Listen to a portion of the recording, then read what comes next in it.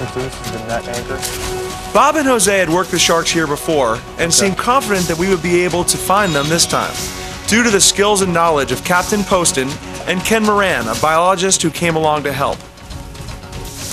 Captain Poston is one of the last shark fishermen who still operates in this area who can almost guarantee sharks. It was an exciting way to go fishing and conduct important research at the same time. The suspense was building. As we prepared to pull in the line, we had only two minutes to determine whether the shark was a male or female, pull it on board, tag, measure, and number it before returning it to the water.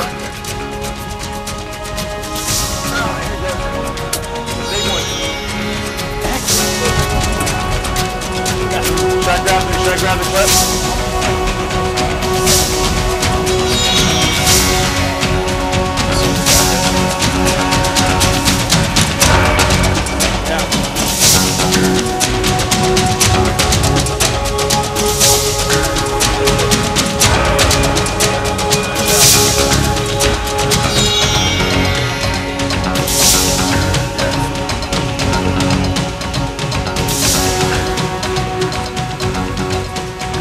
This was one of the first times that the radio tags were going to be inserted into the black-tipped sharks, so preparation was important. We can pop that out of our mouth. It's not all the way through yet.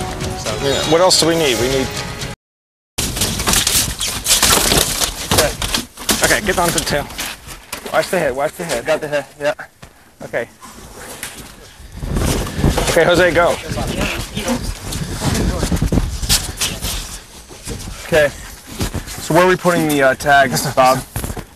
We're putting it right in front of the pelvic girdle. The pelvic fins up in the body cavity. All right. This is electronic tag. Goes into the body cavity and leaving behind a light stalk, which is actually able to detect day length. From that, we can calculate uh, the position of the animal. And this will be it'll be tracked with its location at all times. Also, it'll, it'll capture that. If we get the tag back. Okay. Pre-caudal is. You got you ready, Meredith? Yep. 114. Fork length is 126, and total length is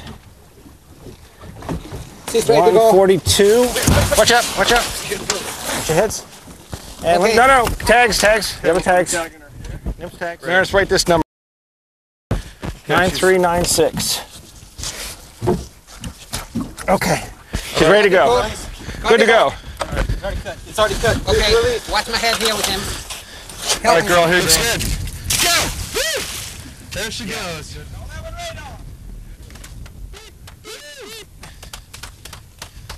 All right. She's gathering data for her species. The first shark tagging went well. For the next two hours, we worked as fast as possible to tag all the sharks on the line.